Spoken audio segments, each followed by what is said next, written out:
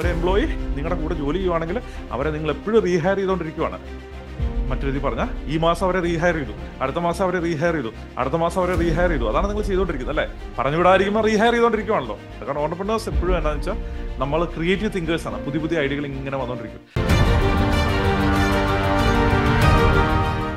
Hi ഞാൻ Rubel Chandy. Ninety days life നടത്തുന്ന international best selling ബുക്കിന്റെ ഓതറാണ് അത് മാത്രമല്ല ലോകത്തിലെ ഒരുപാട് രാജ്യങ്ങളിൽ ബിസിനസ്സുകളെ നെക്സ്റ്റ് ലെവലിലേക്ക് ഗ്രോ ചെയ്യാനായിട്ട് ഒരു കോടി മുതൽ ആയിരം കോടിയുള്ള ബിസിനസ്സുകളെ നെക്സ്റ്റ് ലെവലിലേക്ക് ഗ്രോ ചെയ്യാനായിട്ട് ഹെൽപ്പ് ചെയ്യുവാണ് നമ്മൾ ആ സെറ്റ് ചെയ്യുന്നത്. അപ്പൊ ഞാൻ നിങ്ങളോട് സംസാരിക്കാൻ പോകുന്നത് നിങ്ങൾ പത്ത് കോടി രൂപയുടെ ഒരു ബിസിനസ് കൂടുതലാണ് നിങ്ങൾ ചെയ്യുന്നുണ്ടെങ്കിൽ നിങ്ങൾ വരുത്താവുന്ന അഞ്ച് മിസ്റ്റേക്കുകളെ കുറിച്ചാണ്. ഈ അഞ്ച് മിസ്റ്റേക്കുകൾ മോസ്റ്റ് ലൈക്ലി മോസ്റ്റ് ബിസിനസ്സുകാർ ഇത് രണ്ടെണ്ണമെങ്കിലും വരുത്തുന്നുണ്ടാവും. എസ്പെഷ്യലി ഈ നാലാമത്തെ അഞ്ചാമത്തെ കാര്യത്തിന് സ്പെഷ്യൽ ആയിട്ടുള്ള ഇമ്പോർട്ടൻസ് കൊടുക്കുക. അതാണ് നിങ്ങൾ മനസ്സിലാക്കാൻ പോകുന്നത്. അപ്പോൾ നിങ്ങൾ പറയാം ഞാൻ പത്ത് കോടി ബിസിനസ് ചെയ്യുന്നില്ല. അങ്ങനെയാണെങ്കിൽ നിങ്ങൾ പത്ത് കോടിയിൽ എത്തുമ്പോൾ എന്താണ് ശ്രദ്ധിക്കേണ്ടത് എന്നതിനെ കുറിച്ച് മനസ്സിലാക്കാൻ വേണ്ടിയിട്ട് ഈ വീഡിയോ ലാസ്റ്റ് വരെ കാണാം. ഒന്നാമത്തെ കാര്യം എന്ന് വെച്ചാൽ ബേസിക്കലി പേപ്പർ കട്ടിൽ ഫോക്കസ് ചെയ്യുക എന്നുള്ളതാണ്. പേപ്പർ കട്ട് എന്ന് പറഞ്ഞാൽ ബേസിക്കലി നമ്മളെ സംബന്ധിച്ചിടത്തോളം നമ്മൾ ഈ പറഞ്ഞ കത്രികയും പേപ്പറും ഒക്കെ എടുത്തോണ്ടിരിക്കുന്ന സമയത്ത് നമ്മൾ പേപ്പർ കൊണ്ട് ചെറിയൊരു കട്ട് നമ്മുടെ വിരലെ വീണു. ഈ വിരളെ വീഴുന്ന സമയത്ത് നമ്മൾ എന്ത് സംഭവിക്കുകയാണ് നമ്മുടെ എന്റയർ അറ്റൻഷൻ അതിലേക്ക് പോവാണ്.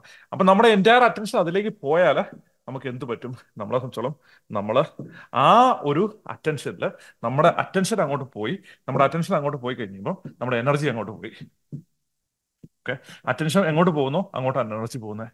എന്ന് പറഞ്ഞു കഴിഞ്ഞാൽ ബേസിക്കലി വെച്ചാൽ നിങ്ങളുടെ ബിസിനസ്സിൽ ചെറിയ ചെറിയ പേപ്പർ കട്ടുകൾ ഉണ്ടാവും. ഒരു കസ്റ്റമർ വിളിച്ച് കംപ്ലൈന്റ് ചെയ്തു. അപ്പൊ തന്നെ നിങ്ങൾ അങ്ങോട്ട് ചാടി ഇറങ്ങരുത്. ക്ലിയർ ആണോ? അല്ലെങ്കിൽ നിങ്ങളെ സംബന്ധിച്ചുള്ള നിങ്ങളുടെ ഒരു എംപ്ലോയിക്ക് ഒരു പ്രശ്നം ഉണ്ടായി. അപ്പൊ നമ്മൾ പ്രോപ്പർലി എച്ച് ആർ മാനേജർ ഉണ്ട് എച്ച് ആർ മാനേജറെ കൊണ്ട് ഹാൻഡിൽ ചെയ്യുക. അല്ലെങ്കിൽ നിങ്ങളുടെ ആ ആളുടെ ബോസിനെ കൊണ്ട് ഹാൻഡിൽ ചെയ്യുക. നിങ്ങൾ അപ്പോഴേ ചാടി ഇറങ്ങരുത്. ഒരു ചെറിയൊരു സിറ്റുവേഷൻ ഉണ്ടായി.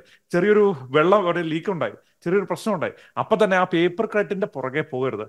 ലോങ് ടേം ആയിട്ടുള്ള കാര്യങ്ങളിൽ മാത്രമായിരിക്കണം നിങ്ങളുടെ ഫോക്കസ് ഉള്ളത്.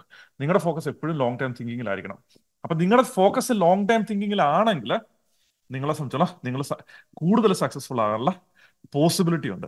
ഇല്ല നിങ്ങളെ സംബന്ധിച്ചോളം നിങ്ങൾ ഷോർട്ട് ടൈം ആയിട്ടുള്ള പേപ്പർ കട്ടിൽ ഫോക്കസ് ചെയ്തുകൊണ്ടിരുന്ന എന്നും നിങ്ങൾ പേപ്പർ കട്ടിൽ തന്നെ ഫോക്കസ് ചെയ്തുകൊണ്ടിരിക്കും അങ്ങനെ ആ പേപ്പർ കട്ടിൽ ഫോക്കസ് ചെയ്തുകൊണ്ടിരുന്ന നിങ്ങളുടെ ബിസിനസ് ഒരു കാലത്തും നെക്സ്റ്റ് ലെവലിലേക്ക് മൂവ് ചെയ്യാൻ പോകുന്നില്ല.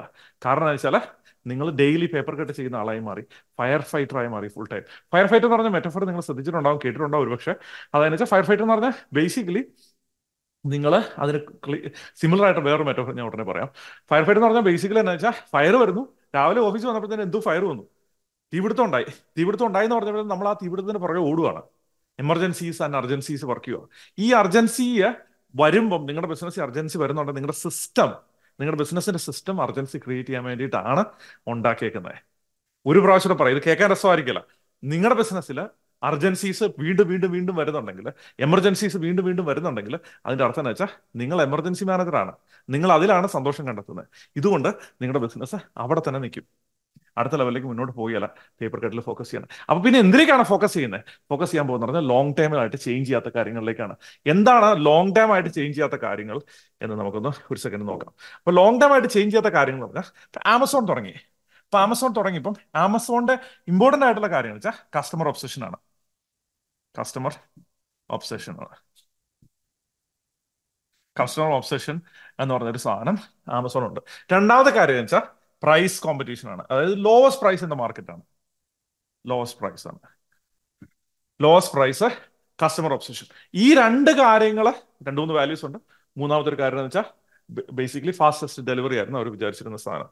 ഓക്കെ ഫാസ്റ്റ് ഡെലിവറി അപ്പൊ ഡെലിവറി ഫാസ്റ്റ് ആയിട്ട് ചെയ്ത് കൊടുക്കുക. അപ്പൊ ഈ മൂന്ന് കാര്യങ്ങൾ അവർ ഫോക്കസ് ചെയ്തു.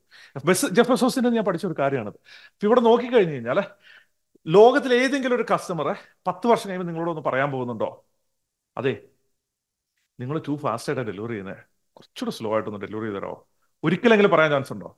ഇതാണ് ലോങ് ടേമിൽ ചേഞ്ച് ചെയ്യാത്ത സാധനം. എത്ര കാലം കഴിഞ്ഞാലും മനുഷ്യനെ സംബന്ധിച്ചോളം ഇപ്പൊ ഒരു ദിവസത്തിൽ കിട്ടിക്കൊണ്ടിരിക്കുന്ന സാധനം അര ദിവസം കിട്ടാവോ? ഒരു മണിക്കൂർ കിട്ടാവോ? ഞാൻ ഓർഡർ ചെയ്യുമ്പോൾ തന്നെ അങ്ങോട്ട് ഈ പറഞ്ഞ രീതിയിൽ എന്റെ എന്റെ വാളിലൂടെ അങ്ങ് ഇറങ്ങി വരാവോ? എന്നാണ് ആൾക്കാർ തിങ്ക് ചെയ്യുന്നത് അപ്പൊ നിങ്ങളുടെ ബിസിനസ്സിൽ മാറാത്ത സാധനങ്ങളുണ്ട്.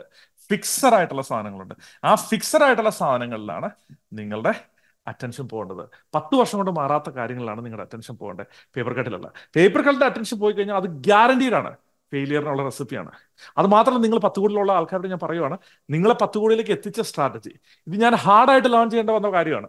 പത്ത് കോടിയിൽ എത്തിച്ച സ്ട്രാറ്റജി പത്ത് കോടിയിൽ നിന്ന് മുകളിലേക്ക് കൊണ്ടുപോവുകയല്ല. ഒരു പ്രാവശ്യമല്ല. പത്ത് കോടിയിൽ നിങ്ങളെ എത്തിച്ച സ്ട്രാറ്റജി ഒരു കാരണവശാലും നിങ്ങൾ അടുത്ത ലെവലിലേക്ക് കൊണ്ടുപോയില്ല കാരണം അവിടെ വരെ എത്തിച്ച സാധനം എന്ന് പറഞ്ഞാൽ നമ്മളെ സംബന്ധിച്ചോളം നമ്മൾ വള്ളത്തേലാണ് ഇങ്ങോട്ട് എത്തിയത്.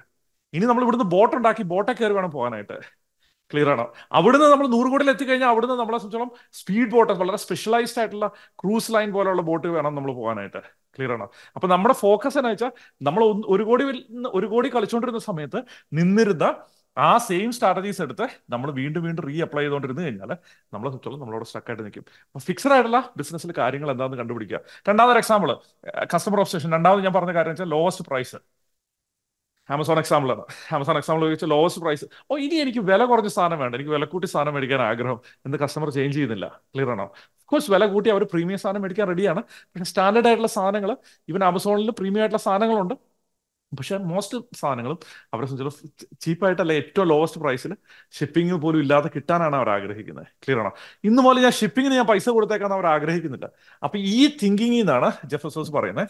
ജെഫസോസിന്റെ കീ ഒരു പോയിന്റ് എന്ന് വെച്ചാൽ എന്താണ് പുള്ളിക്കാരൻ ഇമ്പോർട്ടന്റ് ആണെന്ന് പുള്ളി കൺസിഡർ ചെയ്ത്? പുള്ളിക്ക് ലോങ് ടൈം ഇമ്പോർട്ടന്റ് ആണെന്ന് കൺസിഡർ ചെയ്ത് അതെന്താണോ അതിലേക്ക് മാത്രമേ പുള്ളിക്കാരന്റെ ഫോക്കസ് ആൻഡ് അറ്റൻഷൻ പോകുന്നുള്ളൂ. ബാക്കിയുള്ളത് മുഴുവൻ ഡെലിഗേറ്റ് ചെയ്തേക്കുവാണ്. അത് ബാക്കിയുള്ള ചെയ്യേണ്ടെന്നല്ല. ബാക്കിയുള്ളവരെ ബാക്കിയുള്ളത് ഡെലിഗേറ്റ് ചെയ്ത് വേറെ ആൾക്കാരാണ് പുള്ളിക്ക് വേണ്ടി ഹാൻഡിൽ ചെയ്യുന്നത്.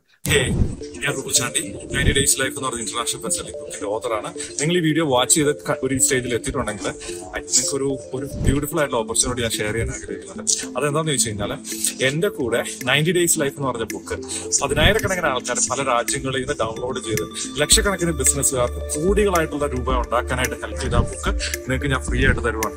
നിങ്ങൾക്ക് ഇവിടെ താഴെ ഒരു ലിങ്ക് കാണാം. ആ ലിങ്ക് യൂസ് ചെയ്ത് നിങ്ങൾക്ക് ആ ബുക്ക് ഡൗൺലോഡ് ചെയ്യാം. അത് ഡൗൺലോഡ് ചെയ്തിട്ട് എന്റെ കൂടെ ട്വന്റി എയ്റ്റ് ഡേയ്സിൽ നിങ്ങൾക്കൊരു വെർച്വൽ മെന്ററിക്ക് ഞാൻ തരുവാണ്. ഞാൻ നിങ്ങൾക്ക് ട്വന്റി എയ്റ്റ് ഡേയ്സിലേക്ക് വോയിസ് ഇട്ട് തന്ന് നിങ്ങളുടെ ബിസിനസ്സിനെ നെക്സ്റ്റ് ലെവലിലേക്ക് മൂവ് ചെയ്യാനായിട്ട് ഹെൽപ്പ് ചെയ്യാം ഒരു കോസ്റ്റും ഇല്ല. ഇത് എന്റെ ഗിഫ്റ്റ് ആണ്. നിങ്ങൾ എന്റെ ചാനലിനെ ഫോളോ ചെയ്യുന്നതുകൊണ്ട് നിങ്ങൾ എന്റെ ലോകത്തേക്ക് വന്നതുകൊണ്ട് നിങ്ങൾ എന്ത് വീഡിയോ ആണ് വാച്ച് ചെയ്യുന്നെങ്കിൽ ആ വീഡിയോ വാച്ച് ചെയ്തതിന് നിങ്ങളുടെ ബിസിനസ് നെക്സ്റ്റ് ലെവലിലേക്ക് മൂവ് ചെയ്യാനായിട്ടുള്ള എല്ലാ സപ്പോർട്ടും ഞാൻ തരുന്നു. ഇവിടെ താഴെ പോകുക അല്ലെങ്കിൽ ക്ലിക്ക് ചെയ്യുക. ബുക്ക് ഡൗൺലോഡ് ചെയ്യുക നമ്മൾ വെർച്വൽ മെന്ററിങ് ജേണിയിലൂടെ യാത്ര ചെയ്യാൻ സോ അപ്പൊ നിങ്ങളുടെ ബിസിനസ്സിൽ നിങ്ങളിപ്പോൾ ഒരു ഒരു പത്ത് കോടി രൂപയിൽ എത്തിയ സ്ഥിതിക്ക് നിങ്ങൾ ശ്രദ്ധിക്കേണ്ട ഒരു കാര്യം നിങ്ങൾ അടുത്ത ലെവലിലേക്ക് പോകണമെന്നുണ്ടെങ്കിൽ നിങ്ങളുടെ സമയം നിങ്ങൾ കുറേ പുറത്തെടുക്കണം. ബിസിനസ് ചെയ്യുന്നത് അപ്പൊ ആ സമയം പുറത്തെടുക്കണം എന്നുണ്ടെങ്കിൽ നിങ്ങൾ ഈ പേപ്പർ കെട്ടിലേക്ക് ഫോക്കസ് ചെയ്യും ഞാൻ ഇതിനെക്കുറിച്ച് എന്നെ പറഞ്ഞു എന്ന് ഞാൻ വിചാരിക്കുന്നു. അടുത്ത പോയിന്റിലേക്ക് പോകാം രണ്ടാമത് ബേസിക്കലി ഈ നമ്മുടെ പത്ത് പത്ത് കോടി രൂപയിൽ എത്തിയിട്ടുള്ള ബിസിനസ്സുകൾ വരുത്തുന്ന രണ്ടാമത്തെ മിസ്റ്റേക്ക് എന്താണെന്ന് വെച്ചാൽ ആദ്യം സംസാരിക്കുക എന്നുള്ളതാണ് അതായത് വെച്ചാൽ നിങ്ങളൊന്ന് ശ്രദ്ധിച്ചു നോക്കി കഴിഞ്ഞാൽ നിങ്ങളെ ഇതുവരെ പത്ത് കോടി രൂപയിലേക്ക് എത്തിച്ച് ഒരു കോടി രൂപയിലേക്ക് എത്തിച്ചതും പത്ത് കോടി രൂപയിലേക്ക് എത്തിച്ചതും ഓൾമോസ്റ്റ് എത്തിച്ചത് ആദ്യം സംസാരിക്കുന്നതായിരുന്നു. ആദ്യം സംസാരിക്കുക നമ്മളെ സംബന്ധിച്ചു നമുക്ക് അങ്ങനെ ഒരു ഐഡിയ ഉണ്ട്. ഇങ്ങനെ ഒരു കാര്യം ചെയ്യാം. അങ്ങനെ ഐഡിയ ഇങ്ങനെ കാര്യം ചെയ്യാം. ഇങ്ങനെ ഒരു കാര്യം ചെയ്ത് ഇങ്ങനെ മുന്നോട്ട് പോകും. ഇങ്ങനെ മുന്നോട്ട് പോയിട്ട് അങ്ങനെ പോവാം ഇങ്ങനെ പോവാം ഇങ്ങനെ വരുമ്പോൾ എന്നാ സംഭവിച്ചാൽ നിങ്ങളെ സംബന്ധിച്ചോളം നിങ്ങളുടെ കമ്പനിയിൽ നിങ്ങൾ നിങ്ങളുടെ കമ്പനിയിൽ നിങ്ങൾ ശ്രദ്ധിക്കേണ്ട വെച്ചാൽ നിങ്ങളുടെ കമ്പനിയിൽ എ പ്ലേയേഴ്സ് ഉണ്ട്. ഞാൻ ഫ്യൂച്ചറിൽ സംസാരിക്കാൻ ആഗ്രഹിക്കുന്ന ഒരു കാര്യമാണ്. എ പ്ലസ് പ്ലേയേഴ്സ് ഉണ്ട്. അപ്പൊ നിങ്ങളുടെ കമ്പനിയിൽ എ പ്ലേയേഴ്സ് ഉണ്ട്. എ പ്ലേയേഴ്സ് ഉണ്ട്. എ പ്ലസ് പ്ലേയേഴ്സ് ഉണ്ട്. എ പ്ലസ് പ്ലേയേഴ്സ് ഉണ്ട്. പിന്നെ ബി പ്ലേയേഴ്സ് ഉണ്ട്. പിന്നെ സി പ്ലേയേഴ്സ് ഉണ്ട്. പിന്നെ ഡി പ്ലേയേഴ്സ് ഉണ്ട്. ഇതിനെക്കുറിച്ച് ഞാൻ പല വീഡിയോസ് ചെയ്തിട്ടുണ്ട്. നിങ്ങൾക്ക് ചെക്ക് ചെയ്ത് കഴിഞ്ഞാൽ അറിയാം. പക്ഷെ ഞാൻ ഇവിടെ ഫോക്കസ് ചെയ്യാൻ പോകുന്നത് എ പ്ലേയേഴ്സിനെ കുറിച്ചും എ പ്ലസ് പ്ലേയേഴ്സിനെ കുറിച്ചുമാണ്. ഇപ്പൊ A players A plus players work ചെയ്യുന്ന മണിക്ക് വേണ്ടി മാത്രമല്ല നിങ്ങൾ ഓർക്കും മണിക്ക് വേണ്ടി ആയിരിക്കും അവർ ജോലി ചെയ്യുന്നതെന്ന്. ഒരുപക്ഷെ മണിക്ക് വേണ്ടിയിട്ട് റുപ്പീസിന് വേണ്ടി അല്ലെ ഡോളറിന് വേണ്ടി അവർ ജോലി ചെയ്യുന്നതെന്ന് വിചാരിക്കും. പക്ഷെ especially A plus players work ചെയ്യുന്ന അവരുടെ ഫുൾഫിൽമെന്റിന് വേണ്ടിയിട്ടാണ്. ഓഫ് കോഴ്സ് മണി അവർക്ക് വേണം പക്ഷെ അവർ ഫുൾഫിൽമെന്റിന് വേണ്ടിയിട്ടാണ് വർക്ക് ചെയ്യുന്നത് അവർക്ക് ഫുൾഫിൽഡ് ആകണം. ഓക്കെ? അപ്പൊ ആ ഫുൾഫിൽമെന്റിന് വർക്ക് ചെയ്യുന്ന എ പ്ലസ് പ്ലെയറിന് ബേസിക്കലി എക്സൈറ്റ്മെന്റ് ഉണ്ടാകണം എന്നുണ്ടെങ്കിൽ അവർക്ക് വേണ്ടതെന്ന് വെച്ചാൽ അവർക്ക് ഇനിഷ്യേറ്റീവ് വേണം. അവർക്ക് ഇനിഷ്യേറ്റീവ് എടുക്കാൻ പറ്റണം.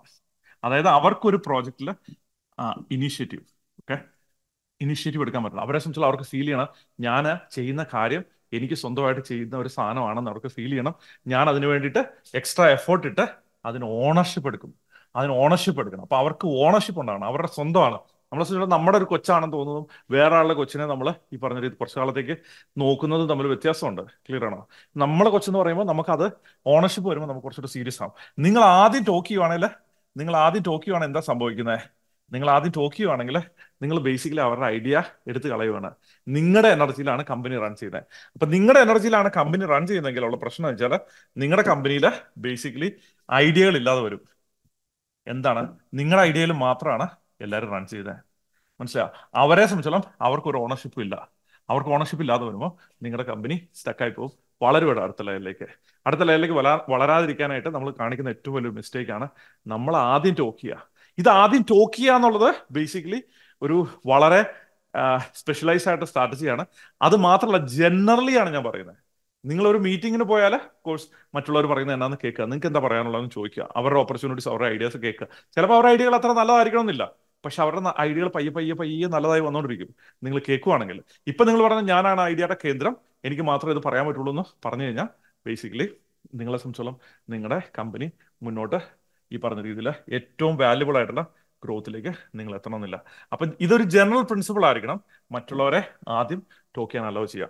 മൂന്നാമത്തെ കാര്യത്തിലേക്ക് നമ്മൾ പോയി കഴിഞ്ഞു കഴിഞ്ഞാൽ മൂന്നാമത്തെ കാര്യത്തിലേക്ക് പോയി കഴിഞ്ഞാൽ നമ്മളുടെ ബിസിനസ്സിൽ നിങ്ങൾ വരുത്തുന്ന ഇതൊരു സൈക്കോളജിക്കൽ ആയിട്ടൊരു മിസ്റ്റേക്കാണ് ഇത് ഇത് സൈക്കോളജിക്ക് ഭയങ്കര ഇമ്പോർട്ടന്റ് ആണ്. ബിസിനസ് എന്ന് പറഞ്ഞാൽ ഫിഫ്റ്റി പെർസെന്റ് സൈക്കോളജിയാണ് അപ്പൊ സൈക്കോളജിക്കൽ ആയിട്ട് മിസ്റ്റേക്ക് എന്ന് പറഞ്ഞാൽ കൾച്ചറലി നമ്മൾ ബിസിനസ് തുടങ്ങുന്നത് ചില ആൾക്കാർ ബിസിനസ് തുടങ്ങുന്നത് നമ്മൾ ടെക്നീഷ്യൻ മൂത്ത് ബിസിനസ് തുടങ്ങുന്നതാണ്. ആർട്ടിസ്റ്റ് മൂത്ത് ബിസിനസ് തുടങ്ങുന്നതെന്ന് പറയും. എന്ന് പറഞ്ഞതിന്റെ അർത്ഥം വെച്ചാൽ ഞാൻ ഒരു സോഫ്റ്റ്വെയർ ഡെവലപ്പറാണ് അപ്പൊ എന്നെ സംബന്ധിച്ച് നന്നായിട്ട് സോഫ്റ്റ്വെയർ ഡെവലപ്പ് ചെയ്യാൻ അറിയാം. ആക്ച്വലി ഞാൻ ഒരു സോഫ്റ്റ്വെയർ ഡെവലപ്മെന്റ് എന്നാണ് വരുന്നത്. അപ്പം സോഫ്റ്റ്വെയർ നന്നായിട്ട് ഡെവലപ്പ് ചെയ്യാൻ അറിയാന്നുണ്ടെങ്കിൽ നമ്മൾ സോഫ്റ്റ്വെയർ ഡെവലപ്പർ മൂത്ത് കഴിയുമ്പോൾ മൂത്ത് കഴിഞ്ഞു പറഞ്ഞാൽ ഭയങ്കരമായിട്ട് ഗ്രോത്ത് ഒക്കെ ആയി കഴിഞ്ഞു ഭയങ്കര ക്ലാരിറ്റി ഒക്കെ ആയി കഴിഞ്ഞ് കഴിയുമ്പോൾ നമ്മൾ സോഫ്റ്റ്വെയർ ഡെവലപ്പർ എന്ന രീതിയിൽ നമുക്ക് തോന്നുക നമുക്കൊരു ബിസിനസ് സ്റ്റാർട്ട് ചെയ്യാം. നമുക്ക് അതിനുള്ള കഴിവുണ്ട്. ഓക്കെ നമുക്കൊരു ബിസിനസ് സ്റ്റാർട്ട് ചെയ്യാം. അപ്പം ആ ബിസിനസ്സിന് നമ്മളൊരു പേരിട്ടു. നമ്മൾ സോഫ്റ്റ്വെയർ കമ്പനി സ്റ്റാർട്ട് ചെയ്യുവാണ്. ഓക്കെ ഈ സോഫ്റ്റ്വെയർ കമ്പനി സക്സസ്ഫുൾ ആകുന്നോ ഇല്ലയോ എന്ന് ഡിസൈഡ് ചെയ്യുന്നത് പലപ്പോഴും നിങ്ങൾ സിഗ്നിഫിക്കൻസ് എങ്ങനെ മാനേജ് ചെയ്യുന്നതിന് ബേസ് ചെയ്തിട്ടാണ്. അതിന്റെ പ്രാധാന്യം നിങ്ങൾക്ക് മനസ്സിലാക്കി തരാം. അതായത് എന്ന് വെച്ചാൽ നമ്മളെ സംബന്ധിച്ചോളം ഫസ്റ്റ് ഓഫ് ഓൾ നമ്മൾ ഒരു സ്കില്ലിൽ സ്പെഷ്യലൈസ്ഡ് ആണ്. എന്താണ്? സോഫ്റ്റ്വെയർ ഡെവലപ്മെന്റ് സ്പെഷ്യലൈസ്ഡ് ആണ്. പക്ഷെ നമുക്ക് മാനേജ്മെന്റ് അറിയത്തില്ല. നമുക്ക് സെൽ ചെയ്യാൻ അറിയത്തില്ല. നമുക്ക് മാർക്കറ്റ് ചെയ്യാൻ അറിയത്തില്ല. നമുക്ക് ബിസിനസ് സ്കെയിൽ ചെയ്യാൻ അറിയത്തില്ല. പീപ്പിളിനെ എഫക്റ്റീവ്ലി മാനേജ് പീപ്പിളിനെ എഫക്റ്റീവ്ലി ഒരു ഗ്ലോബൽ ലെവലിൽ സ്കെയിൽ ചെയ്ത് മാനേജ് ചെയ്യാൻ അറിയത്തില്ല.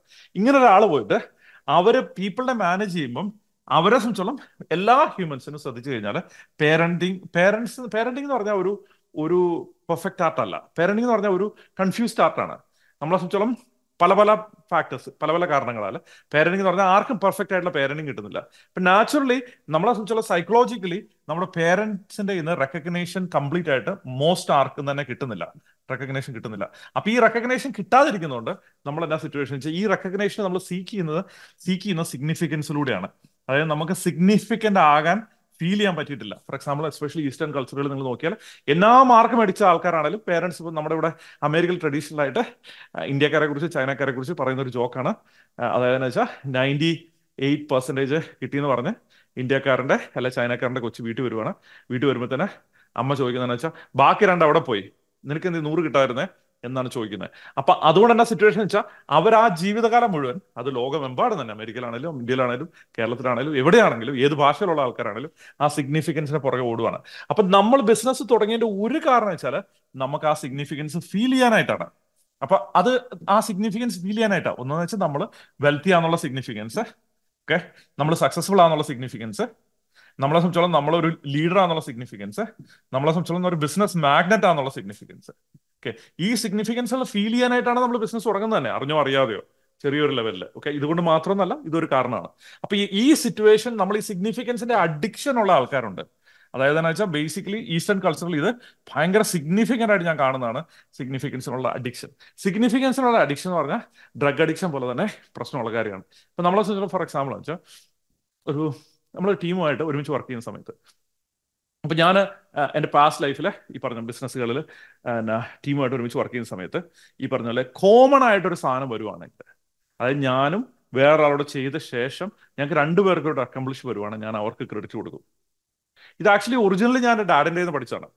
ഫോർ എക്സാമ്പിൾ വെച്ചാൽ ഞാനും നിങ്ങളോട് കൂടിയിട്ട് ഒരുമിച്ച് ചേർന്ന ഒരു പ്രോജക്റ്റിന് പോയി നമ്മൾ സക്സസ്ഫുൾ ആണെങ്കിൽ ഞാൻ നിങ്ങൾക്ക് ക്രെഡിറ്റ് തരും. ക്ലിയർ ആണോ? അതേസമയം ഞാനും നിങ്ങളുടെ ഒരുമിച്ച് പോയിട്ട് ഒരുമിച്ച് പോയിട്ട് നമ്മൾ ഫെയിൽ ആകുവാണെങ്കിൽ ഞാൻ അതിന് റെസ്പോൺസിബിലിറ്റി എടുക്കും. ഇതൊരു ഡ്യുവാലിറ്റി ആണ് അല്ലേ? അപ്പം അപ്പൊ നിങ്ങൾ ആലോചിക്കുക അവൻ ആ ക്രെഡിറ്റ് കൊടുക്കുന്നത് പിന്നെ അവനല്ലേ റെസ്പോൺസിബിലിറ്റി എടുക്കണ്ടേ? അങ്ങനെയല്ല നമ്മൾ ലീഡേഴ്സ് ഓപ്പറേറ്റ് ചെയ്യേണ്ടത് എസ്പെഷ്യലി പത്ത് കോടി രൂപയുടെ മുകളിലേക്ക് നിങ്ങൾ ബിസിനസ് എത്തിക്കഴിഞ്ഞു കഴിഞ്ഞാൽ നിങ്ങൾ വലിയൊരു ഒരു കൈൻഡ് ഓഫ് വലിയൊരു ബിസിനസ്സിലേക്ക് നമ്മൾ മാറിക്കൊണ്ടിരിക്കുകയാണ് അപ്പോൾ ആ ഒരു സിറ്റുവേഷൻ നിങ്ങളെ സംബന്ധിച്ചാൽ ഇത് ഡിഫറൻഷിയേറ്റ് ചെയ്യാൻ പറ്റണം. അത് മിസ്റ്റേക്ക് വന്നാൽ നമ്മൾ റെസ്പോൺസിബിലിറ്റി എടുത്തു ഒരുമിച്ചാണ് ചെയ്യുന്നതെങ്കിൽ അതാണ് ഞാൻ ഉദ്ദേശിച്ചത്. ഓക്കെ നല്ലതായിട്ട് വന്നു കഴിഞ്ഞാൽ അവർക്ക് ക്രെഡിറ്റ് കൊടുത്തു. അപ്പൊ നാച്ചുറലി നിങ്ങൾ എന്താ ചെയ്യുന്നത് വെച്ചാൽ നിങ്ങളൊരു ബേസിക്കലി ഒരു ബിസിനസ് പേരന്റായി മാറുവാണ്. അവരുടെ ലൈഫിൽ ഒരു ബിസിനസ് പേരന്റാണ് അല്ലെ? ബിസിനസ് പേരന്റ് ആണ്. അല്ലെങ്കിൽ മറ്റു രീതി പറഞ്ഞാൽ സൈക്കോളജിക്കലായിട്ട് ആയിട്ട് പറഞ്ഞാൽ റിലേഷൻഷിപ്പ് ലീഡറായി മാറുവാണ്. നിങ്ങൾ ആ റിലേഷൻഷിപ്പിന്റെ ലീഡറായി മാറുവാണ്.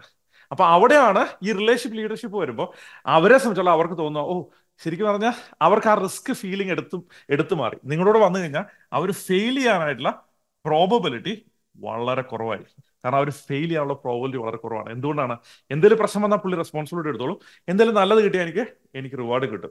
അങ്ങനെ ഒരു സിറ്റുവേഷൻ വരുമ്പോൾ അവർക്ക് സെക്യൂർ ആയിട്ട് വന്ന് അവരുടെ അവരുടെ ക്രിയേറ്റിവിറ്റിയും എല്ലാം എക്സ്പ്രസ് ചെയ്യാനായിട്ട് പറ്റുവാണ്. അപ്പൊ ഇതാണ് മൂന്നാമത്തെ ഇമ്പോർട്ടന്റ് ആയിട്ടുള്ള പീസ് നിങ്ങളുടെ ബിസിനസ്സിൽ നിങ്ങൾ പത്ത് കോടി രൂപ എത്തിയിട്ടുണ്ടെങ്കിൽ നിങ്ങൾ സിഗ്നിഫിക്കൻസിൽ നിന്ന് പുറത്തു ചാടണം. സിഗ്നിഫിക്കൻസിന്റെ അഡിക്ഷനിൽ നിന്ന് പുറത്തു ചാടിയാൽ മാത്രമേ ഉള്ളൂ. നിങ്ങൾക്ക് അടുത്ത ലെവലിലേക്ക് മുന്നോട്ട് പോകാൻ പറ്റുള്ളൂ. അത് മാത്രമല്ല ഓരോ കാര്യത്തിനും ഞാൻ അങ്ങനെ ചെയ്തില്ലേ? ഞാൻ ഇങ്ങനെ ചെയ്തില്ലേ? ഞാൻ അങ്ങനെ ഐഡിയ പറഞ്ഞില്ല? എനിക്ക് ഐഡിയ കിട്ടിയില്ല. എന്റെ ഐഡിയ കൊണ്ട് ഇങ്ങനെ ഉണ്ടായി. ഇങ്ങനെ പറയുന്ന നേച്ചർ ഉണ്ടെങ്കിൽ നമ്മൾ കുറയ്ക്കണം. കുറയ്ക്കണം എന്ന് പറഞ്ഞാൽ ആർട്ടിഫിഷ്യലായിട്ട് കുറയ്ക്കാനായിട്ടല്ല. നമ്മൾ നമ്മളെ തന്നെ അങ്ങ് അക്സെപ്റ്റ് ചെയ്യുക. ഇത്രയും പത്ത് കോടി രൂപയുടെ ബിസിനസ് നമ്മൾ എത്തി. ഇത്രയും വളർന്നു. ഇനി ആരുടെ അപ്രൂവലിന് വേണ്ടി നമ്മൾ വെയിറ്റ് ചെയ്യുന്നത് ആരാണ് നമുക്ക് സ്റ്റാമ്പ് എടുത്ത് തരണം നിങ്ങൾ മിടുക്കനാണ്. നിങ്ങൾ ഓൾറെഡി മിടുക്കനാണ്. മിടുക്കിയാണ്. നിങ്ങളെ സംബന്ധിച്ചോളം നിങ്ങൾ ആ സ്റ്റേജിൽ എത്തിക്കഴിഞ്ഞു. ഇനി ആരോടും പ്രൂവ് ചെയ്യേണ്ട ഒരു സിറ്റുവേഷൻ അല്ല. അതുകൊണ്ട് നിങ്ങളെ സംബന്ധിച്ചോളം നിങ്ങൾ പ്രൂവൺ ആണ് അച്ചീവ്ഡ് ആണെന്ന് അക്സെപ്റ്റ് ചെയ്യാം. ഇനി നമ്മളെ സംബന്ധിച്ചോളം പേരൻസിന്റെ അപ്രൂവൽ നമുക്ക് ആവശ്യമില്ല. കാരണം നമ്മൾ ഓൾറെഡി അക്സെപ്റ്റഡ് ആണ്. അപ്പൊ അങ്ങനെ ഒരു ലെവലിൽ നിങ്ങൾ എത്തിക്കഴിഞ്ഞ് കഴിഞ്ഞാൽ പിന്നെ നിങ്ങളെ സംബന്ധിച്ചോളം അടുത്ത ലെവലിലേക്ക് മൂവ് ചെയ്യാം. ഇത് ചെയ്യുമ്പോൾ തന്നെ നിങ്ങളെ സംബന്ധിച്ചോളം ഇത് ഞാൻ വലുതായിട്ട് വരച്ചതിന്റെ കാര്യം ഇതൊരു വലിയൊരു പീസാണ് കാരണം സിഗ്നിഫിക്കൻസ് എന്ന് പറഞ്ഞാൽ ഒരു ബേസിക്കലി ഒരു ബ്ലോക്കായി മാറും. നിങ്ങളുടെ ബിസിനസിന്റെ അടുത്ത ലെവലിലേക്ക് പോകാനായിട്ട്. കാരണം നിങ്ങൾക്ക് എല്ലായിടത്തും സിഗ്നിഫിക്കൻസ് കിട്ടാൻ വേണ്ടി നിങ്ങൾ ഹയർ ചെയ്യും. അപ്പൊ നിങ്ങൾ എ പ്ലേസിനെ എ പ്ലസ് പ്ലേസിനെ ഹയർ ചെയ്യുന്നതിന് പകരം നിങ്ങളെ സൂചിപ്പിക്കുന്ന ആൾക്കാരെ ഹയർ ചെയ്യും. അതുമാത്രം നിങ്ങൾ അവരെ ഹയർ ചെയ്ത് കഴിയുമ്പോൾ നിങ്ങൾ ആലോചിച്ച് നോക്കുക ഒരു എംപ്ലോയി നിങ്ങളുടെ കൂടെ ജോലി ചെയ്യുവാണെങ്കിൽ അവരെ നിങ്ങൾ എപ്പോഴും റീഹയർ ചെയ്തുകൊണ്ടിരിക്കുവാണ്. മറ്റൊരു രീതി പറഞ്ഞാൽ ഈ മാസം അവരെ റീഹയർ ചെയ്തു അടുത്ത മാസം അവരെ റീഹയർ ചെയ്തു അടുത്ത മാസം അവരെ റീഹയർ ചെയ്തു. അതാണ് നിങ്ങൾ ചെയ്തുകൊണ്ടിരിക്കുന്നത് അല്ലേ? പറഞ്ഞു വിടാതിരിക്കുമ്പോൾ റീഹയർ ചെയ്തുകൊണ്ടിരിക്കുവാണല്ലോ. അല്ലെ? അപ്പൊ ആ ആരെയാണ് നിങ്ങൾ റീഹയർ ചെയ്തുകൊണ്ടിരിക്കുന്നത് നിങ്ങളെ നിങ്ങളെ സൂചിപ്പിക്കുന്ന ആൾക്കാരെ. നിങ്ങൾ മിടുക്കനാണെന്ന് പറയുന്നത് നിങ്ങൾ സുന്ദരനാണെന്ന് പറയുവാണ് പറയുന്ന ആൾക്കാരെ. നിങ്ങൾക്ക് സാറിന് ഭയങ്കര ബുദ്ധിയാണല്ലോ മാഡത്തിന് ഭയങ്കര ബുദ്ധിയാണെന്ന് പറയുന്ന ആൾക്കാരെ തന്നെ നമ്മൾ വീണ്ടും റീഹയർ ചെയ്തുകൊണ്ടിരിക്കും ക്ലിയർ ആണോ? അപ്പൊ അവരെ അവരെ അവരെ നോക്കി അവരെ നോക്കി അവരുടെ വർത്തമാനം കേട്ടിരിക്കുമ്പോൾ ഈ സാധാരണഗതിയിൽ നിങ്ങൾ റിയലൈസ് ചെയ്യേണ്ട ഒരു കാര്യം വെച്ചാൽ ഏറ്റവും ഏറ്റവും പെർഫോമൻസ് ലോ ആയിട്ടുള്ള ആൾക്കാരെ ബിസിനസ്സിൽ ഏറ്റവും പെർഫോമൻസ് ലോ ആയിട്ടുള്ള ആൾക്കാരെ അവർക്ക് സംസാരിച്ച് നിങ്ങളെ കയ്യിലെടുക്കാനായിട്ട് ഭയങ്കര കഴിവാണ്. ഒരു പ്രാവശ്യം പറയാം. ഏറ്റവും ലോ പെർഫോമൻസ് ആയിട്ടുള്ള ആൾക്കാരാണ് അവർ സംസാരത്തിൽ സെയിൽസിലാണെ പോലും.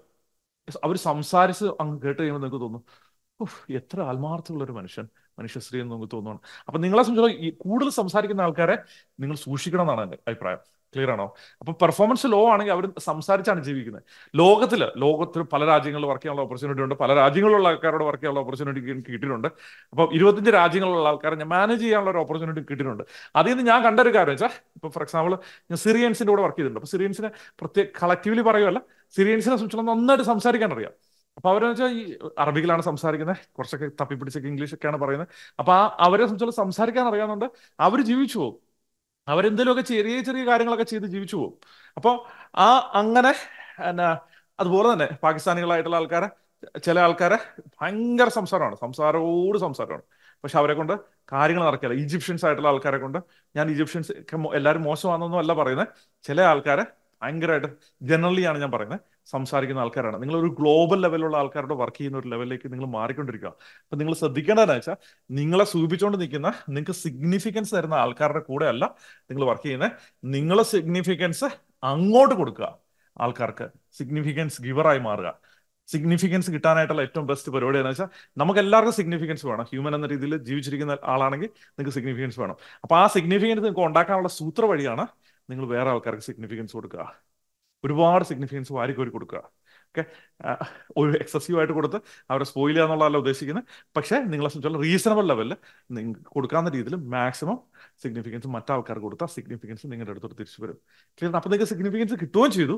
എന്നാൽ നിങ്ങളുടെ ടീം സക്സസ്ഫുൾ ആവുകയും ചെയ്തു. അത് മാത്രമല്ല നിങ്ങളെ പറ്റിച്ച് ജീവിക്കുന്ന ആൾക്കാരുണ്ടെങ്കിൽ അവരെ നിങ്ങൾക്ക് പറഞ്ഞു വിടാനുള്ള ഓപ്പർച്യൂണിറ്റിയും അതിലൂടെ കിട്ടുന്നതാണ്. അപ്പൊ ഈ ഒരു സിറ്റുവേഷൻ ഹാൻഡിൽ ചെയ്ത് കഴിഞ്ഞാൽ നമ്മളെ സംബന്ധിച്ചോളം നമ്മുടെ അടുത്ത പോയിന്റിലേക്ക് നമുക്ക് പോകാൻ പറ്റും. അപ്പൊ അടുത്ത പോയിന്റ് എന്ന് പറഞ്ഞു കഴിഞ്ഞാൽ സഡൻ മൂവ്സ് ആണ്. അതായത് എന്ന് വെച്ചാൽ നിങ്ങളുടെ ബിസിനസ്സിൽ അപ്പൊ ഇവിടോട്ട് നമുക്ക് മാറാം. ബിസിനസ്സിൽ നിങ്ങൾ സഡൻ മൂവ്സ് ഉണ്ടാക്കരുത്. കാരണം വെച്ചാൽ സഡൻ മൂവ്സ് ഉണ്ടാക്കരുത് എന്ന് പറഞ്ഞാൽ അതിന്റെ അർത്ഥം എന്ന് വെച്ചാൽ നിങ്ങളുടെ ബിസിനസ്സിൽ ഇപ്പൊ നിങ്ങളെ സംബന്ധിച്ചോളം നിങ്ങൾ ഒരു ഒരു ഗ്രോത്തിൽ എത്തിക്കഴിഞ്ഞു. ഓക്കെ അപ്പൊ ആ ഒരു ഗ്രോത്തിൽ എത്തിയ സ്ഥിതിക്ക് നിങ്ങളെ സംബന്ധിച്ചാൽ നിങ്ങളൊരു ചെറിയൊരു ബോട്ടിലാണ് യാത്ര ചെയ്തതെന്നുണ്ടായിരുന്നെങ്കിൽ ചെറിയൊരു ബോട്ടാണ് നിങ്ങൾ യാത്ര ചെയ്തുകൊണ്ടിരിക്കുമായിരുന്നു അപ്പൊ അവിടെ ഇതാണ് നിങ്ങൾ പോയിക്കൊണ്ടിരിക്കുന്നത് നിങ്ങൾക്ക് ഇടത്തോട്ടോ വലത്തോട്ടോ പെട്ടെന്ന് തിരിയാം. എന്തുകൊണ്ടാണ്? നിങ്ങൾ ചെറിയ ബോട്ടിലാണ് പോകുന്നത് ഇപ്പം നിങ്ങളെ സംബന്ധിച്ചാൽ നിങ്ങൾ ഓൾമോസ്റ്റ് ഒരു വലിയൊരു വലിയൊരു ഷിപ്പിന്റെ അടുത്ത് എത്തി എത്തിക്കൊണ്ടിരിക്കുകയാണ് ഇനി അവിടുന്ന് അടുത്ത ലെവലിൽ നിന്ന് പത്ത് കോടി രൂപ മുകളിലാണ് നിങ്ങൾ ഒരു അമ്പതോ നാൽപ്പതോ അമ്പത് കോടിയിലൊക്കെയാണ്. നൂറ് കോടി അടുത്തൊക്കെയാണ് നിങ്ങൾ കുറച്ചുകൂടെ വലിയ ഷിപ്പാണ് ക്ലിയർ ആണ്? ഇങ്ങനെ ഒരു വലിയ ഷിപ്പ് ബേസിക്കലി പിടിച്ച് ആരെങ്കിലും എന്തെങ്കിലും പറയുന്ന കേട്ട് പെട്ടെന്ന് നിങ്ങൾ തിരിച്ചു കഴിഞ്ഞു കഴിഞ്ഞാൽ ബേസിക്കലി നിങ്ങൾ മൂക്കും കുത്തി താഴോട്ട് വീഴും. ഓക്കെ ഫോളാണ് ഉണ്ടാക്കാൻ പോകുന്നത്. അപ്പൊ നിങ്ങൾ വളരെ ഇന്റലിജന്റ് ആയിട്ട് മാത്രമേ ഉള്ളൂ. ചേഞ്ചസ് വരുത്താവുള്ളൂ. ചെറിയ ചേഞ്ചസ് എന്റെ ഷിപ്പ് കണ്ടു കഴിഞ്ഞാൽ ഒരു ഭംഗിയില്ലല്ലേ? പക്ഷെ എന്നാലും കാര്യം ഉണ്ടെന്ന് മനസ്സിലായില്ലേ? അതായത് നിങ്ങളെ സംബന്ധിച്ചോളം നിങ്ങൾ സ്ലോ ചേഞ്ചസ് നിങ്ങളുടെ ബിസിനസ് വരുത്താവുള്ളൂ. സ്ലോ ചേഞ്ചസ് വരുത്താവുള്ളൂ എന്ന് പറഞ്ഞാൽ അജയിൽ ആകരുതെന്നല്ല. നിങ്ങൾ ഇന്റലിജന്റ് ആകരുതെന്നല്ല. നിങ്ങളെ സംബന്ധിച്ചോളം നിങ്ങൾ ബിസിനസ്സിൽ ഒരു കാര്യം ഒരു ചെറിയൊരു സ്ഥലത്ത് ടെസ്റ്റ് ചെയ്ത് നോക്കുക. ഫോർ എക്സാമ്പിൾ ഒരു സെയിൽസിൽ ഒരു ഐഡിയ കിട്ടി. അപ്പൊ നിങ്ങളെ സംബന്ധിച്ചോളം ആ ഐഡിയ നല്ലതാണെന്ന് അറിയാനായിട്ട് നമ്മൾ തന്നെ സെയിൽസിനെ കുറിച്ച് ഒരു കാര്യം പറയുന്നുണ്ടെങ്കിൽ ഞാൻ വീഡിയോസ് ചെയ്യുന്നുണ്ട്. അപ്പൊ അത് ചെയ്യുമ്പോൾ അതൊരു ഒരു ചെറിയൊരു മാർക്കറ്റിൽ ഒരു പ്രോഡക്റ്റിൽ ഇംപ്ലിമെന്റ് ചെയ്ത് നോക്കി. അത് വർക്കാവുന്നുണ്ടെന്ന് കണ്ടു. കാരണം ലോകത്ത് ഒരുപാട് മിസ്ഇൻഫർമേഷൻ ഉണ്ട്. പല ആൾക്കാർ ഇങ്ങനെ പല പല കാര്യങ്ങൾ ഇങ്ങനെ പറഞ്ഞുകൊണ്ടിരിക്കും എക്സ്പീരിയൻസ് ഇല്ലാത്ത ആൾക്കാരും പറഞ്ഞുകൊണ്ടിരിക്കും അപ്പൊ അങ്ങനെ പറയുമ്പോൾ ആ പറയുന്ന ആൾക്കാർ ചിലപ്പം ഈ പറഞ്ഞ പോലെ ചുമ്മാ അങ്ങ് പറഞ്ഞു പോകുന്നതാണ്. അത് നിങ്ങളുടെ ബിസിനസ്സിൽ ആപ്ലിക്കബിൾ ആയിരിക്കണം എന്നില്ല. അപ്പൊ നിങ്ങളെ സംബന്ധിച്ചോളം നിങ്ങൾ അത് വളരെ വിജിലന്റ് ആയിട്ട് പോയിട്ട് നിങ്ങൾ അത് പോയി മനസ്സിലാക്കിയിട്ട് നിങ്ങൾ അത് കറക്റ്റ് ചെയ്താൽ മാത്രമേ നിങ്ങളുടെ ബിസിനസ് നെക്സ്റ്റ് പോകുള്ളൂ ഇപ്പം നമ്മളെ മാർക്കറ്റിംഗിൽ പുതിയൊരു ഫേസ്ബുക്ക് ആഡ് ചെയ്യാൻ പറഞ്ഞു. അപ്പം നിങ്ങൾ എല്ലാം ഉപേക്ഷിച്ചിട്ട് നേരെ ഫേസ്ബുക്ക് ആഡിലേക്ക് പോകരുത്. ഫേസ്ബുക്ക് ആഡ് ഫേസ്ബുക്ക് ആഡ് അല്ലെങ്കിൽ മെറ്റ ആഡ് ചെയ്യണമെന്ന് പറയുവാണെങ്കിൽ മെറ്റ ആഡ് നിങ്ങൾ ടെസ്റ്റ് ചെയ്ത് നോക്കുക. എങ്ങനെയാണ് നിങ്ങൾക്ക് വർക്ക് ചെയ്യുന്നത് യൂട്യൂബ് ആഡ് യൂട്യൂബ് ചെയ്യണം. യൂട്യൂബിൽ പോയി ആഡ് ചെയ്യണം എന്നൊരാൾ പറയുവാണെങ്കിൽ നിങ്ങൾ യൂട്യൂബിൽ പോയി ചെറിയൊരു ടെസ്റ്റ് നടത്തി നോക്കുക. എന്നിട്ട് അതിന്റെ റിസൾട്ട് അസസ് ചെയ്യുക. എന്നിട്ട് നിങ്ങൾ സ്കെയിൽ ചെയ്യാവുള്ളൂ എസ്പെഷ്യലി ബിഗ് ആയിട്ടുള്ള ബിസിനസ് കാരണം ഇത് ഈ സിഗ്നിഫിക്കൻസുമായിട്ട് ഒരു ഒരു വലിയ പ്രാധാന്യമുണ്ട്. ഞാൻ ഈ പറയുന്ന കാര്യങ്ങളെല്ലാം സിഗ്നിഫിക്കൻസുമായിട്ട് സിഗ്നിഫിക്കൻസ് ഇതിന്റെ ഒരു കോർ കാതലായിട്ടുള്ള കാര്യമാണ്. അപ്പൊ ഈ സിഗ്നിഫിക്കൻസ് നമുക്ക് വേണ്ടതുകൊണ്ട് നമ്മളെ സംബന്ധിച്ചുള്ള പെട്ടെന്ന് വളരാമെന്ന് വിചാരിക്കുകയാണ് ആ മൈൻഡ് സെറ്റിൽ നമ്മൾ പുറത്തു കയറണം. അതായത് വെച്ചാൽ നമ്മൾ സക്സസ്ഫുൾ ആയിട്ടുള്ള ബിസിനസ്സുകാർക്കുള്ള ഒരു പ്രത്യേകത എന്ന് വെച്ചാൽ അവരെ സംബന്ധിച്ചോളം അവർ ലോട്ടറിയിൽ ബിലീവ് ചെയ്യുന്നില്ലാത്തവരാണ്. ലോട്ടറി എന്ന് പറഞ്ഞാൽ ട്രഡീഷണൽ ലോട്ടറിയുടെ കാര്യമല്ല ഞാൻ ഈ പറയുന്നത് അതായത് നിങ്ങൾ ശരിക്കും സക്സസ്ഫുൾ ആയിട്ട് ബിസിനസ്സുകാരനാണ് നിങ്ങൾ ലോട്ടറി ബിലീവ് ചെയ്യുന്നില്ല അതായത് പെട്ടെന്ന് ഒരു ദിവസം ഇങ്ങനെ വളരുമെന്ന് നിങ്ങൾ ബിലീവ് ചെയ്യുന്നില്ല നിങ്ങൾക്കറിയാം നിങ്ങൾ ഇങ്ങനെ പയ്യെ പയ്യെ പയ്യെ പയ്യെ പോയി പോയി പോയി പോയി പോയി പോയി പോയി പോയി പോയി പോയി പോയി പോയി പോയി ഇങ്ങനെ വരുമ്പോൾ ഒരൊറ്റ വളർച്ച ഉണ്ടാവും ഇങ്ങനെയാണ് ഉണ്ടാകുന്നത് ചിലപ്പോൾ ഇങ്ങനെ പോകുന്നവരും ഉണ്ട് ഓപ്പർച്യൂണിറ്റി ഇല്ലെങ്കിൽ അങ്ങനെ അങ്ങനെ അങ്ങനെ പോയി അങ്ങനെ തീർന്നു പോകുന്നവരും ഉണ്ട് അതല്ല ഞാൻ ഉദ്ദേശിക്കുന്നത് നിങ്ങളെ സംബന്ധിച്ചോളം നിങ്ങളുടെ ബിസിനസ്സിൽ ഒരു സ്കോപ്പ് ഉണ്ട്. ആ സ്കോപ്പ് നിങ്ങൾ ആക്ച്വലൈസ് ചെയ്തിട്ട് ചെറിയ പ്രോഗ്രസ് നിങ്ങൾ ആക്ച്വലൈസ് ചെയ്തുകൊണ്ടിരിക്കുന്നുണ്ട്. നിങ്ങൾക്ക് ലോങ് ടൈമിലാണ് വിജയം ഉണ്ടാകാൻ പോകുന്നതെന്ന് കൃത്യമായിട്ട് നിങ്ങൾക്ക് അറിയാൻ പറ്റും. ഒരു പത്ത് കോടി മുകളിലുള്ള ബിസിനസ്സുകാരെന്ന രീതിയിൽ അപ്പൊ അങ്ങനെ വരുമ്പോൾ നിങ്ങൾ ലോട്ടറി എന്ന് പറഞ്ഞതിന്റെ അർത്ഥം എന്താ വെച്ചാൽ നിങ്ങൾ പെട്ടെന്ന് ഒരു ഇൻസിഡന്റ് ഉണ്ടായി പെട്ടെന്ന് ഒരു സാധനം ചെയ്തു. പെട്ടെന്ന് ക്ലിക്ക് ചെയ്തു. ഓഫ് കോഴ്സ് പെട്ടെന്ന് ഒരു ഓപ്പർച്യൂണിറ്റി കണ്ടാൽ എടുക്കരുതെന്നല്ല. അതല്ല ഞാൻ ഇവിടെ ഉദ്ദേശിക്കുന്നത്. ഞാൻ ഉദ്ദേശിക്കുന്നത് എന്താ വെച്ചാൽ നിങ്ങളെ സംബന്ധിച്ചോളം ഒരു ഒരു ക്വിക്കായിട്ട് പൈസ ഉണ്ടാക്കാൻ പെട്ടെന്ന് അങ്ങനെ ഓവർനൈറ്റ് സക്സസ് ആകാം എന്ന് പറഞ്ഞൊരു തിങ്കിങ് ഉണ്ടാകരുത്. ആ തിങ്കിങ് ആണ് നമ്മൾ ഏറ്റവും വലിയ വലിയ അബദ്ധങ്ങളിലേക്ക് പോയി ചാടിക്കുന്നത്. അതുകൊണ്ട് സഡൻ ടേണുകൾ ചെയ്യരുത്. സഡൻ സ്വിച്ചുകൾ ചെയ്യരുത്. പെട്ടെന്ന് സഡൻ ആയിട്ട് ബിസിനസ് ഇട്ടിട്ട് പോകരുത്. പെട്ടെന്ന് അയ്യോ തോന്നുക ഇതിനേക്കാളും നല്ല നൂറ് കോടി രൂപയുടെ വേറൊരു ബിസിനസ് എനിക്ക് ഉണ്ടാക്കാൻ പറ്റുമെന്ന് പറഞ്ഞ് ഈ പത്ത് കോടി നിങ്ങൾ എറിഞ്ഞിട്ട് ദയവ് ചെയ്ത് പോകരുത്. കാരണം നിങ്ങൾ ഓൾറെഡി ഒരു സ്റ്റേബിൾ ആയിട്ടുള്ള സിറ്റുവേഷൻ ആണ്. നിങ്ങൾക്ക് വേറൊരു ഓപ്പർച്യൂണിറ്റി സീക്ക് ചെയ്യണമെന്നുണ്ടെങ്കിലും ഈ ബിസിനസ്സിൽ സിഗ്നിഫിക്കന്റ് ആയിട്ട് ഗ്രോത്ത് പൊട്ടൻഷ്യൽ റെഡിയാക്കി അല്ല ഇതിനകത്തൊരു സിഇഒനെ വെച്ച് ഈ ബിസിനസ് മാനേജ് ചെയ്തിട്ടല്ലാതെ നിങ്ങൾ വേറൊരു ഓപ്പർച്യൂണിറ്റി പുറകെ പോരുത്. ഇതെല്ലാം ഓണ്ടർപ്രണേഴ്സിന് ഉണ്ടാകുന്ന തിങ്കി തിങ്കിങ് ആണ്. കാരണം ഓണ്ടർപ്രണേഴ്സ് എപ്പോഴും എന്താണെന്ന് വെച്ചാൽ നമ്മൾ ക്രിയേറ്റീവ് തിങ്കേഴ്സ് ആണ്. പുതിയ പുതിയ ഐഡിയകൾ ഇങ്ങനെ വന്നുകൊണ്ടിരിക്കും ആ വരുന്നതനുസരിച്ച് നമ്മൾ ഒരിടത്തും ചാടി വേറെ സൈഡിലേക്ക് ഓപ്പോസിറ്റ് സൈഡിലേക്ക് ചാടി പോകരുത്. അത് നമ്മുടെ ഫൈനൽ പോയിന്റിലേക്ക് നമ്മൾ എത്തിക്കുകയാണ് നമ്മുടെ ഫൈനൽ പോയിന്റ് എന്ന് വെച്ചാൽ ടോപ്പ് ലൈൻ തിങ്കിങ് ആണ്. ഇത് ഞാൻ നേരത്തെ പറഞ്ഞ പോലെ ഒരു ഡേഞ്ചറസ് ആയിട്ടുള്ള മറ്റൊരു മറ്റൊരു ചലഞ്ചാണ് ഈ top line thinking top line thinking എന്ന് പറഞ്ഞാൽ ബേസിക്കലി എന്താണ് അർത്ഥം? ടോപ്പ് ലൈൻ തിങ്കിങ് പറഞ്ഞാൽ ബേസിക്കലി നിങ്ങളുടെ ബിസിനസ്സിൽ നിങ്ങളുടെ തിങ്കിങ് മുഴുവൻ എനിക്ക് പത്ത് കോടിയിൽ ഞാൻ എത്തി ഇരുപത് കോടിയിലെത്തി എനിക്ക് ഇനി എത്രയും പെട്ടെന്ന് എനിക്ക് എത്രയും പെട്ടെന്ന് നൂറ് കോടിയിലെത്തണം അതാണ് എന്റെ തിങ്കിങ് അപ്പൊ ഈ ഈ നൂറ് കോടിയിലേക്ക് തിങ്കിങ് നൂറ് കോടിയിൽ എത്താൻ ആഗ്രഹിക്കുന്നതിന് ഒരു കുഴപ്പമില്ല. അതല്ല ഞാനിവിടെ പറയുന്നത് നിങ്ങളെ സംബന്ധിച്ചോളം നിങ്ങൾക്ക് നൂറ് കോടിയിൽ എത്തണമെങ്കിൽ നിങ്ങൾ നൂറ് കോടിയിൽ എത്തണം. ഓക്കെ ഈ ഹൺഡ്രഡ് ക്രോറിൽ എത്തുക എന്നുള്ളതല്ല നമ്മളുടെ ഗോൾ ഒരു ബിസിനസ്സുകാരൻ എന്ന രീതിയിൽ ഹൺഡ്രഡ് ക്രോറിൽ എത്തുക എന്നുള്ളതല്ല നമ്മുടെ ഗോൾ നമ്മളെ സംബന്ധിച്ചോളം പത്ത് കോടി രൂപയുടെ ബിസിനസ് നമ്മൾ ചിലപ്പോൾ ചെയ്യുന്നുണ്ട് ഇപ്പോൾ ഓക്കെ അല്ലെ അമ്പത് കോടി രൂപയുടെ ബിസിനസ് ചെയ്യുന്നുണ്ട്. രണ്ട് കേസ് നമുക്ക് എടുത്തു നോക്കാം. പത്ത് കോടി രൂപയുടെ ബിസിനസ് ചെയ്യുന്നുണ്ട്. നിങ്ങളെ സംബന്ധിച്ചിടത്തോളം രണ്ട് കോടി രൂപ നിങ്ങൾ ഉണ്ടാക്കുന്നുണ്ട്. ഓക്കെ ട്വന്റി പെർസെന്റ് നമ്മൾ നമ്മൾ ഗ്രോസ് പ്രോഫിറ്റ് ഉണ്ടാക്കുന്നുണ്ട്. നമ്മളെ സംബന്ധിച്ചിടത്തോളം നമുക്ക് നമുക്ക് നെറ്റ് ഇൻകം ആയിട്ട് ലെറ്റ്സ് വൺ ക്രോർ നമുക്ക് കീപ്പ് ചെയ്യാൻ പറ്റുന്നുണ്ട്. ഓക്കെ കൊള്ളാം. നെറ്റ് പ്രോഫിറ്റ് അല്ല. നമ്മുടെ കയ്യിൽ കീപ്പ് ചെയ്യുന്ന പൈസ എന്ന് ഓർത്തോണേ അതൊരു വേറൊരു കോൺവെർസേഷൻ നമുക്ക് ചെയ്യാം. അമ്പത് കോടിയുടെ ബിസിനസ് ചെയ്യുന്നുണ്ട്. പത്ത് കോടി രൂപ നമുക്ക് നെറ്റ് പ്രോഫിറ്റ് ഉണ്ട്. ലെറ്റ്സ് സേ പത്ത് കോടി രൂപ നെറ്റ് പ്രോഫിറ്റ് ഉണ്ട്. നമ്മൾ ഒരു ഏഴ് കോടി രൂപ അതിനകത്ത് കീപ്പ് ചെയ്യുന്നുണ്ട്. ഓക്കെ ഏഴ് കോടി രൂപയുടെ അസറ്റ് നമ്മൾ ബിൽഡ് ആയിക്കൊണ്ടിരിക്കുന്നുണ്ട് ക്യാഷ് ഫ്ലോ വഴിയായിട്ട്. ഈ സിറ്റുവേഷനിൽ നമ്മൾ ഒരു കാര്യം നിങ്ങൾ ശ്രദ്ധിക്കേണ്ടതെന്ന് വെച്ചാൽ നമ്മുടെ ഫോക്കസ് ഈ പറഞ്ഞ പത്ത് കോടിയിൽ നിന്ന് നൂറ് കോടിയിലേക്ക് എത്തുക എന്നുള്ളത് മാത്രമാണെങ്കിൽ എന്ത് സംഭവിക്കുന്നത് വെച്ചാൽ ഞാൻ I will promise you that നിങ്ങളൊരു നിങ്ങൾ ഈ ഒരു ഈ ഒരു റവന്യൂ നിൽക്കുന്ന ആളെന്ന രീതിയിൽ നിങ്ങൾക്ക് ഇത് കൃത്യമായിട്ട് മനസ്സിലാവും. എസ്പെഷ്യലി നിങ്ങൾ അൻപതോ എഴുപതോ തൊണ്ണൂറോ ലെവലിൽ എത്തിയിട്ട് സ്ട്രഗിൾ ചെയ്യുന്നുണ്ടെങ്കിൽ ഇത് ശരിക്കും നിങ്ങൾക്ക് മനസ്സിലാവും. നിങ്ങൾക്ക് സംഭവിക്കാൻ പോകുന്ന ബിഗസ്റ്റ് ആയിട്ടുള്ള ചലഞ്ച് എന്ന് പറഞ്ഞാൽ നിങ്ങളുടെ ഈ പ്രോഫിറ്റ് ലെവൽ താഴോട്ട് പോകുക എന്നുള്ളതാണ്. ഓക്കെ ഈ പ്രോഫിറ്റ് താഴോട്ട് പോകുക എന്നുള്ളതാണ്. ഇനി പ്രോഫിറ്റ് താഴോട്ട് പോയില്ലെങ്കിൽ നിങ്ങളെ സംബന്ധിച്ചോളം നിങ്ങളുടെ ടേക്ക് ഹോം താഴോട്ട് പോകുക എന്നുള്ളതാണ്. നിങ്ങളൊന്ന് ആലോചിച്ച് നോക്കുക. നിങ്ങളുടെ ടേക്ക് ഹോം താഴോട്ട് പോയി കഴിഞ്ഞാൽ നിങ്ങൾ ചെയ്തതിന്റെ എല്ലാ എന്ത് പ്രയോജനമാണുള്ളത്? ഫോർ എക്സാമ്പിൾ വെച്ചാൽ നിങ്ങൾ നൂറ് കോടി രൂപയുടെ ബിസിനസ് ചെയ്യുന്നുണ്ട്. നൂറ് കോടി രൂപയുടെ ബിസിനസ് ചെയ്യുന്നുണ്ട്. ഈ നൂറ് കോടി രൂപയുടെ ബിസിനസ് ചെയ്തിട്ട് നിങ്ങൾക്ക് ഏഴ് കോടി രൂപ കിട്ടുന്നുള്ളൂ. നെറ്റ് ആയിട്ടുള്ള ക്യാഷ് നിങ്ങളുടെ നിങ്ങൾ ബോട്ടം ലൈന് ആദ്യം ആഡ് ചെയ്യുന്നത്. ടോപ്പ് ലൈൻ അല്ല ബോട്ടം ലൈന് ക്യാഷ് നമ്മൾ ആഡ് ചെയ്യുന്നത്. അമ്പത് കോടി രൂപയുടെ ബിസിനസ് ചെയ്യുമ്പോഴും നിങ്ങളെ സംബന്ധിച്ചോളം ഏഴ് കോടി ടേക്ക് ഹോം ഉണ്ടായിരുന്നു. ഇൻകം ഉണ്ടായിരുന്നു. അല്ലെ ക്യാഷ് ഉണ്ടായിരുന്നു. ബിസിനസ് ക്യാഷ് ആയിട്ട് അസറ്റ് ക്രിയേറ്റ് ചെയ്യുന്നുണ്ടായിരുന്നു. എന്താ വെറുതെ നമ്മൾ തലവേദന കൂട്ടി എന്നല്ലാതെ വേറെ ഒന്നും കൂട്ടിയിട്ടില്ല. ഇതാണ് ടോപ്പ് ലൈൻ തിങ്കിങ് ഈ ടോപ്പ് ലൈൻ തിങ്കിങ്ങിന്റെ ഡേഞ്ചർ എന്താണെന്ന് വെച്ചാൽ ടോപ്പ് ലൈൻ തിങ്കിങ് നിങ്ങൾ സിഗ്നിഫിക്കൻസിൽ നിന്നാണ് വരുന്നത് നിങ്ങളൊന്ന് ചിന്തിച്ചു നോക്കിക്കഴിഞ്ഞാൽ ഈഗോ ബൂസ്റ്റ് ചെയ്യാൻ വേണ്ടിയിട്ടാണ് നമ്മൾ റവന്യൂ കൂട്ടുന്നത്. റവന്യൂ മാത്രം കൂട്ടുന്നത്. അപ്പം നമ്മൾ എപ്പം റവന്യൂ കൂട്ടുന്ന ഒരു കോൺവെർസേഷനിലും ആ ആക്ച്വലി ആ റവന്യൂ കൂട്ടുന്ന കോൺവെർസേഷന് മുമ്പേ ഉള്ള പ്രോഫിറ്റ് മാക്സിമൈസ് ചെയ്യുന്നതിനെ കുറിച്ച് തിങ്ക് ചെയ്യണം. ബിൽഗേറ്റ്സ് ഞാൻ പറഞ്ഞത് ഞാൻ ഓട്ടോമേഷനിൽ വർക്ക് ചെയ്യുന്ന സമയത്ത് ബിൽഗേറ്റ്സ് പറഞ്ഞ ഒരു കോട്ട് ഞാൻ സോഫ്റ്റ്വെയർ ഓട്ടോമേഷനിൽ ഒരുപാട് വർക്ക് ചെയ്തിട്ടുണ്ട്.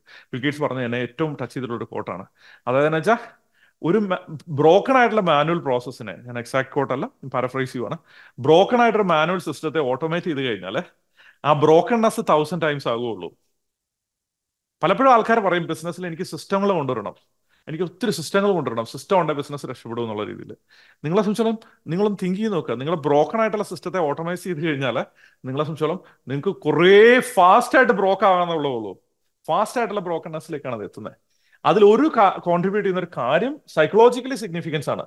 കാരണം സിഗ്നിഫിക്കൻസിന്റെ പുറകെ നമ്മൾ പോകുമ്പോഴാണ് നമുക്ക് ടോപ്പ് ലൈൻ തിങ്കിങ് ഉണ്ടാകുന്നത്. നമ്മളെ സംബന്ധിച്ചോളം അവന് നൂറ് കോടി രൂപ ഞാൻ ഇപ്പോഴും പത്ത് കോടി നിൽക്കുന്നു. ഒന്ന് ഞാൻ കാണിച്ചു തരത്തിട്ടേ ഉള്ളൂ. എന്ന് പറഞ്ഞ് നമ്മളെ സംബന്ധിച്ചോളം നമ്മളൊരു എൻ വിയിൽ നിന്ന് ഓപ്പറേറ്റ് ചെയ്ത് നമ്മൾ ടോപ്പ് ലൈനിൽ ഫോക്കസ് ചെയ്യുക. നൂറ് കോടിയിലേക്ക് എത്തി. പക്ഷേ പൈസ ലാഭം? ലാഭം നമുക്ക് പ്രശ്നമില്ല. നാളെ ലാഭം ഉണ്ടായിക്കോളൂല്ലോ അങ്ങനെ അല്ല തിങ്ക് ചെയ്യേണ്ടത്. നമ്മൾ തിങ്ക് ചെയ്യേണ്ടതെന്ന് വെച്ചാൽ നമ്മളെ സംബന്ധിച്ചോളം ബോട്ടം ലൈൻ തിങ്ക് ചെയ്യണം. അതിൽ തന്നെ പ്രോഫിറ്റിലല്ല പ്രോഫിറ്റ് അല്ല നിങ്ങളുടെ കിങ് ക്യാഷ് ആണ് നിങ്ങളുടെ കിങ് ക്യാഷ് ആണ് ക്യാഷ് ഫ്ലോ ആണ് നിങ്ങളുടെ കിങ് കാരണം ക്യാഷ് ഫ്ലോ ഉണ്ടായി ഉണ്ടാകുന്ന ഒരു ബിസിനസ് പറഞ്ഞാൽ ഒരു അസറ്റായി മാറി. പ്രോഫിറ്റ് ഉണ്ടായെന്ന് ഓർത്ത് നിങ്ങൾക്ക് ക്യാഷ് ഉണ്ടാകണമെന്നില്ല. ക്യാഷ് ക്യാഷ് ഫ്ലോ പോസിറ്റീവ് ആകണമെന്നില്ല. അപ്പൊ നിങ്ങളെ സംബന്ധിച്ചോളം നിങ്ങൾക്ക് ക്യാഷ് ഫ്ലോ പോസിറ്റീവ് ആയിട്ടുള്ള ഒരു ബിസിനസ് ആണ് നിങ്ങൾക്ക് വേണ്ടത്. ആ ക്യാഷ് ഫ്ലോ പോസിറ്റീവ് ആകുന്ന രീതിയിൽ ആ ബോട്ടം ലൈന് സ്റ്റെബിലൈസ് ചെയ്തിട്ട് ആ ബോട്ടം ലൈൻ മാക്സിമം ഒപ്റ്റിമൈസ് ചെയ്തിട്ട് അവിടുന്നാണ് ഇപ്പൊ ജയബ്രാഹം ഞാൻ ഒരുമിച്ച് വർക്ക് ചെയ്യുന്ന സമയത്ത് ജയബ്രാഹം എപ്പോഴും പറയാറുള്ള ഒരു കാര്യം വെച്ചാൽ റൂബിളെ ഞാൻ ടോപ്പ് ലൈനിലല്ല മെയിൻ ആയിട്ട് എന്റെ ഫോക്കസ് പോകുന്നത്. ബോട്ടം ലൈനിലാണ് കാരണം ഒരുപാട് പ്രോഫിറ്റ് ആയിട്ടുള്ള വെൽത്ത് ഓൾറെഡി നിങ്ങളുടെ ബിസിനസ്സിൽ തന്നെ നമ്മുടെ ബിസിനസ്സിൽ തന്നെ ഇരിപ്പുണ്ട്. ആരാന്ന് ചോദിക്കുകയാണ് ലോകത്തിലെ ഏറ്റവും വലിയ ബിസിനസ് സ്ട്രാറ്റജിസ്റ്റ് ആൻഡ് ബിസിനസ് പാർട്ണറാണ് അപ്പൊ ആൾ ആൾ എപ്പോഴും പറയാറുള്ള കാര്യം വെച്ചാൽ ആളെ ഞാൻ ഇന്റർവ്യൂ ചെയ്തിട്ടുണ്ടായിരുന്നു. ആൾ എപ്പോഴും പറയാറുള്ള കാര്യം വെച്ചാൽ എപ്പോഴും ബോട്ടം ലൈനിലാണ് വർക്ക് ചെയ്യുന്നത്. അപ്പൊ ആ ക്യാഷ് ഫ്ലോയിലാണ് വർക്ക് ചെയ്യുന്നത് പ്രോഫിറ്റിലാണ് വർക്ക് ചെയ്യുന്നത് നമ്മൾ ബാക്കിയുള്ള ഇൻകത്തിലാണ് വർക്ക് ചെയ്യുന്നത്. അത് വർക്ക് ചെയ്ത ശേഷം എല്ലാ വഴിയും പ്രോഫിറ്റും ക്യാഷ് ഫ്ലോയും ഒപ്റ്റിമൈസ് ചെയ്തു റീസണബിളി ഒപ്റ്റിമൈസ് ചെയ്ത് കഴിഞ്ഞാൽ നിങ്ങളുടെ ബിസിനസ് അപ്പൊ നിങ്ങളൊന്ന് ആലോചിച്ച് നോക്കുക നിങ്ങളെ സംബന്ധിച്ചാൽ നിങ്ങൾ അമ്പത് കോടി രൂപയുടെ ബിസിനസ് ആയിരുന്നു. അമ്പത് കോടി രൂപയുടെ ബിസിനസ് ആയിരുന്നു നിങ്ങൾ എന്ത് ചെയ്തു? അൻപത് കോടിയിൽ നിന്ന് നിങ്ങൾ ഏഴ് കോടി കീപ്പ് ചെയ്യുന്നതിന് പകരം ഏഴ് കോടി കീപ്പ് ചെയ്യുന്നതിന് പകരം അമ്പത് കോടിയിൽ നിന്ന് പത്ത് കോടി കീപ്പ് ചെയ്യുന്ന സിറ്റുവേഷനിലേക്ക് എത്തി. എന്നിട്ട് നിങ്ങൾ നൂറ് കോടിയിലേക്ക് മാറ്റി. നൂറ് കോടിയിലേക്ക് മാറ്റുമ്പോൾ നിങ്ങൾ ഇരുപത് കോടി നെറ്റ് ഇൻകം കീപ്പ് ചെയ്യുന്ന സിറ്റുവേഷനിലാണ് നിങ്ങൾ ഗ്രോ ചെയ്യുന്നത് അപ്പം നിങ്ങളെ സംബന്ധിച്ചോളം നിങ്ങളുടെ നൂറ് കോടി രൂപയുടെ ബിസിനസ്സിന് വാല്യൂ ഉണ്ട്. നിങ്ങളുടെ ബിസിനസ് നാളെ നിങ്ങൾ സെല്ല് ചെയ്യുവാണെങ്കിലും മേടിക്കാൻ ആൾക്കാരുണ്ട്. അപ്പം ഈ അഞ്ച് മിസ്റ്റേക്സ് ആണ് നിങ്ങൾ പത്ത് കോടി രൂപയുടെ മുകളിൽ ബിസിനസ് ചെയ്യുന്ന ആൾക്കാർ എന്ന രീതിയിൽ. ഒരുപക്ഷെ നിങ്ങൾ നൂറ് കോടി രൂപയുടെ മുകളിലാണെങ്കിൽ ഡെഫിനറ്റ്ലി ഇത് ചെയ്യരുത്. നിങ്ങൾ ഏത് ലെവലിലാണെങ്കിലും പത്ത് കോടി മുകളിലാണ് ബിസിനസ് ചെയ്യുന്നുണ്ടെങ്കിൽ ഈ അഞ്ച് മിസ്റ്റേക്ക് നിങ്ങളുടെ ബിസിനസ്സിൽ അവോയ്ഡ് ചെയ്യുക. C next time